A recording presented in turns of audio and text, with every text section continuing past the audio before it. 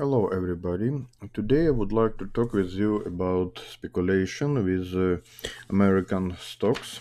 So first company um, that I will uh, trade with short deal, it will be um, company with ticker EBS. You can see now on your screen.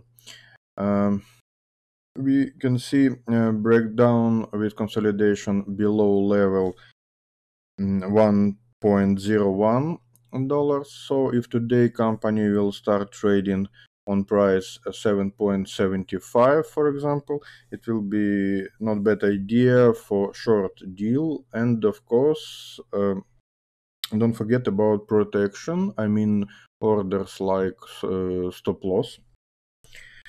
Uh, next one company with ticker edit the same situation uh, but level another one uh, 7.49 48 sorry.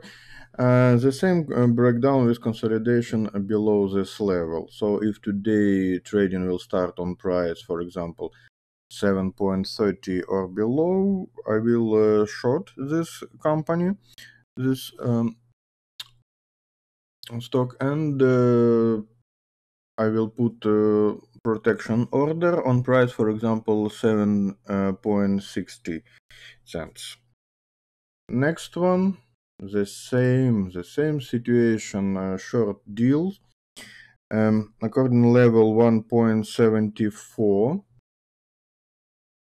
If uh, today consolidation will uh, continue so i will short on price for example uh, 1.65 and stop loss order above this level for example on uh, price 1.76 cents and the last for today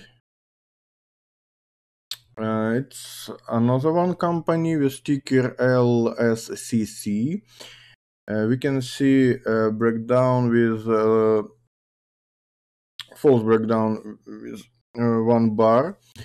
So if today company will uh, open uh, trading on price, for example, 92 or better 91.20 dollars, so it will be good idea for short deal, of course, with uh, protection, I mean stop loss order on price uh, above high of this bar, for example, on price uh, 95.20 so you can trade all this company on company Gerchik & Co. with uh, good software TradeZero.